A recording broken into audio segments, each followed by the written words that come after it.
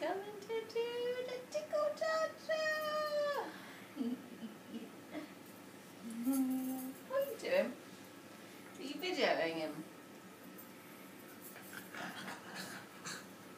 Boxing, boxing, boxing.